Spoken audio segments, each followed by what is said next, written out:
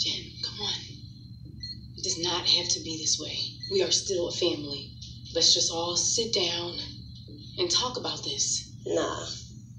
You all are weak. He has to wear a suit.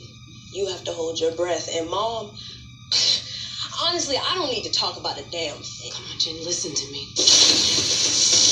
It's hard to hold your breath when you're distracted, huh?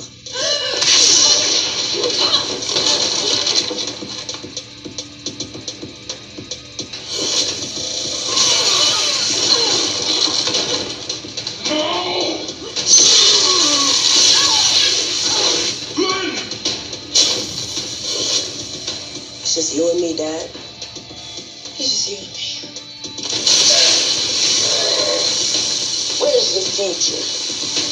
Oh, oh. it's right here. Oh. And whose life is this? Oh. It's mine. Look at me, Dad. This is the best part. Look at me. And how are you gonna live it?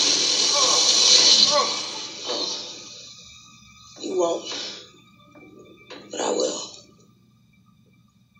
By any means necessary.